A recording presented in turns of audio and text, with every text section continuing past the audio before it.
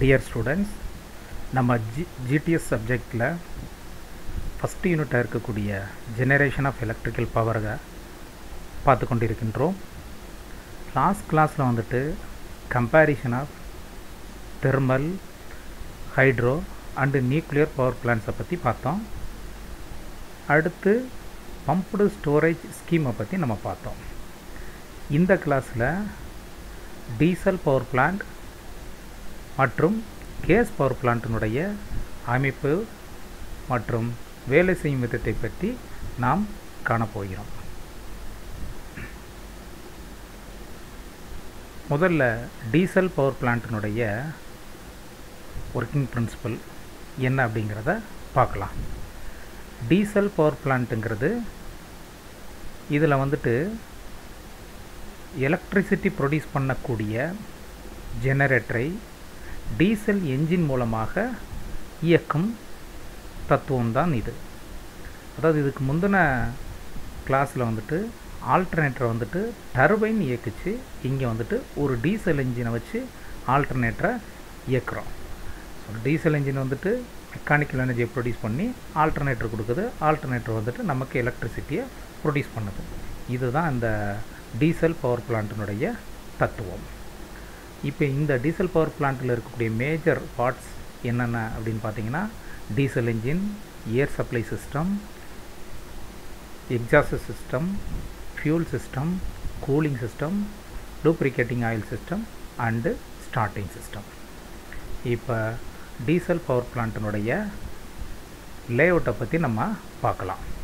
இந்த படத்தை நல்லா கவனிங்க. இதுதான் ஜெனரேட்டர் நமக்கு எலக்ட்ரிசிட்டி ப்ரொடியூஸ் பண்ணக்கூடிய மிஷின் இந்த generator is coupled with diesel engine இந்த டீசல் இன்ஜினை நீங்கள் கேள்விப்பட்டிருப்பீங்க. IC engine internal combustion engine என்று சொல்வார்கள்.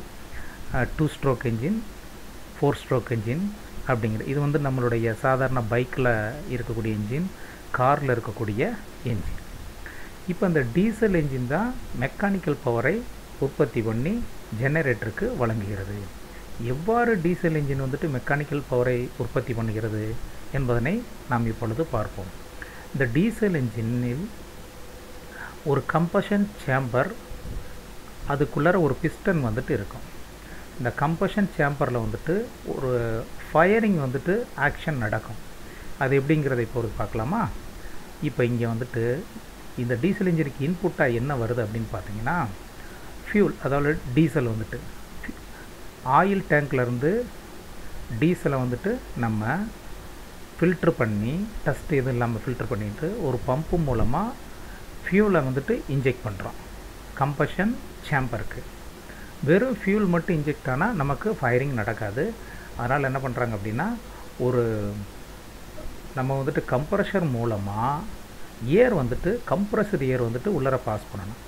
அந்த கம்ப்ரஸர் ஏர் பாஸ் பண்ணுறதுக்கு முன்னாடி ஃபில்ட்ரு பண்ணி டஸ்ட் இது இருந்ததுன்னா ஃபில்ட்ரு பண்ணி நம்ம ஏரை உள்ளார கொண்டு வரோம் அப்போ ஏரும் ஃபியூலும் மிக்ஸ் ஆகி ஒரு ஸ்பார்க் கொடுத்தோம் அப்படின்னா ஃபயரிங் வந்து நடந்துடும் அந்த கம்பசன் சேம்பரில் ஃபயரிங் நடக்கும் பொழுது ப்ரெஷர் வந்து பில்டப் ஆகும். அந்த ப்ரெஷர்னால் உள்ளர இருக்கக்கூடிய அந்த ஃபியூல் எரிஞ்சு என்ன ஆகும் அப்படின்னு கேட்டிங்கன்னா கேஸை ஃபார்ம் பண்ணி அந்த கேஸு வந்துட்டு எக்ஸ்பாண்ட் ஆகும். எக்ஸ்பாண்ட் ஆகும் பொழுது பிஸ்டனை வந்துட்டு மூவ் பண்ணும். அப்படி பிஸ்டனை மூவ் பண்ணும் பொழுது அந்த பிஸ்டனுடைய ஷாஃப்ட்டை நம்ம என்ன பண்ணியிருப்போம்? இங்கே கிராங்க் ஷாஃப்ட்டோட கனெக்ட் பண்ணியிருப்போம். அந்த கிராங்க் ஷாஃப்ட் வந்துட்டு ஜென்ரேட்டரோட கனெக்ட் கனெக்ட் ஆகிருக்கும் ஸோ ஒவ்வொரு முறையும் இங்கே கம்பஷன் நடந்து கேஸு எக்ஸ்பேண்ட் ஆகும் பொழுது பிஸ்டன் மூவ் ஆகி நமக்கு ஒரு ரொட்டேஷன் வந்துட்டு கிடைக்கிறது. இப்படி ரொட்டேட் ஆன பிறகு அந்த இருக்கக்கூடிய கேஸ் வந்துட்டு எக்ஸாஸ்ட் ஆகி அதாவது வெளியேறி சைலன்சர் மூலமாக அட்மாஸ்பியரிக் ஏருக்கு வந்துட்டு போயிடும் இந்த ஆக்ஷன் வந்து திரும்ப திரும்ப நடக்கும். சரிங்களா? இதுதான் டீசல் என்ஜின் வேலை செய்யும் விதம்.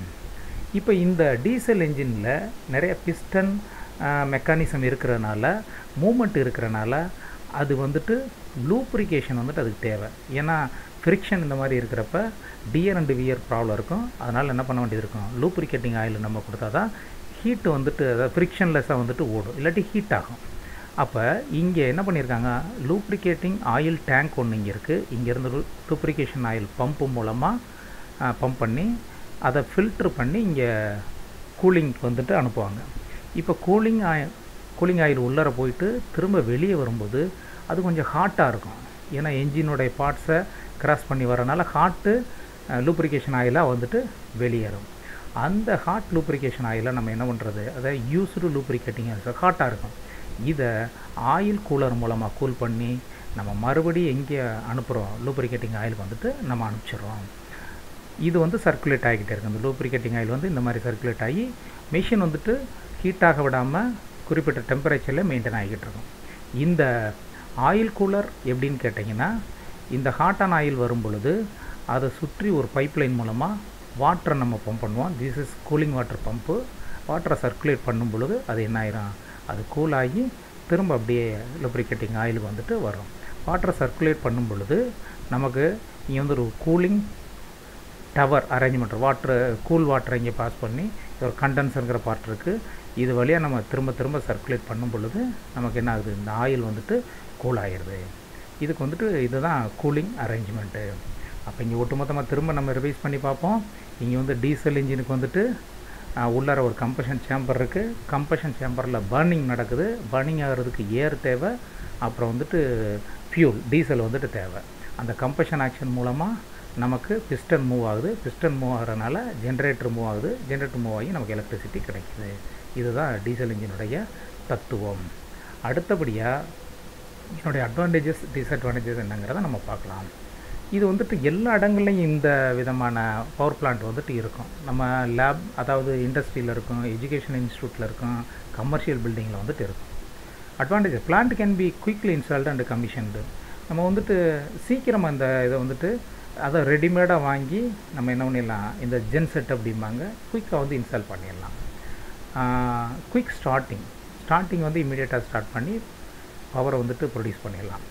ரிக்வயர்ஸ் மினிமம் லேபரர் இது வந்து ஆப்ரேட் பண்ணுறதுக்கு ஒரு ஆள் இருந்தால் போதும். Plant is small simple and high efficient ரொம்ப சின்ன வந்துட்டு ஒரு அமைப்பு தான் வந்துட்டு எஃபிஷியண்ட்டாக ஒர்க் பண்ணும். It can be located near to load center எங்கே லோடு இருக்கோ அதுக்கு பக்கத்தில் போய் ஜென்ரேட்டர் வந்துட்டு நம்ம வச்சுருக்கோம். ரைட்டுங்களா அடுத்து என்னுடைய டிஸ்அட்வான்டேஜஸ் என்ன? Capacity of the plant is very low produce பண்ணக்கூடிய பவர் வந்துட்டு ரொம்ப low fuel repair and maintenance cost are high இதுக்கு வந்துட்டு நமக்கு டீசல் யூஸ் பண்ணுறனால ரெண்டாவது மெயின்டெனன்ஸ் காஸ்ட்டும் அதிகம். Life of plant is low compared to steam plant சரிங்களா? ஸ்டீம் பிளான்ட்லாம் டென் இயர்ஸ் டுவெண்ட்டி இயர்ஸு தாண்டி நமக்கு வந்துட்டு பிளான்ட் ஒர்க் பண்ணிக்கிட்டு இருக்கோம்.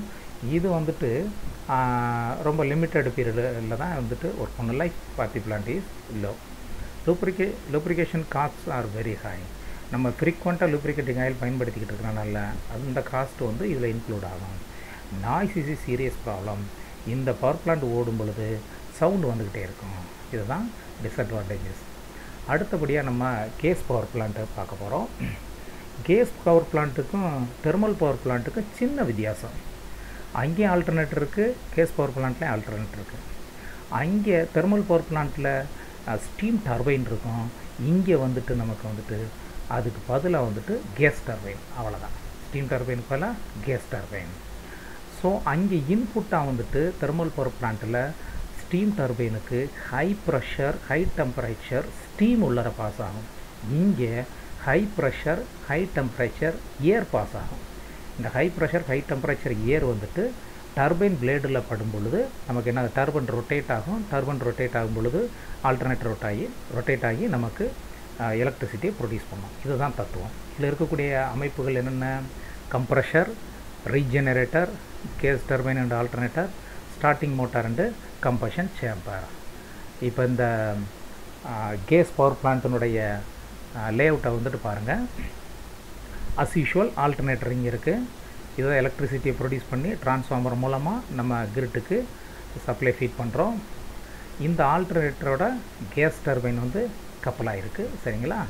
இதில் இதே சாஃப்ட்டில் வந்துட்டு ஒரு கம்ப்ரஷரும் நம்ம என்ன பண்ணியிருக்கோம் கனெக்ட் பண்ணியிருக்கோம்.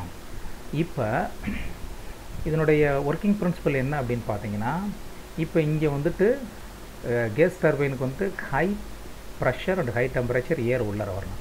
அப்போ இங்கேருந்து ஏர் இன்லெட் உள்ளர போது ஃபில்டர் பண்ணி நம்ம கம்ப்ரெஷர் கொடுக்குறோம். அந்த ஏரை வந்துட்டு கம்ப்ரெஷ் பண்ணி ஹை ப்ரெஷரில் அந்த ஏரை கொண்டுட்டு போகுது.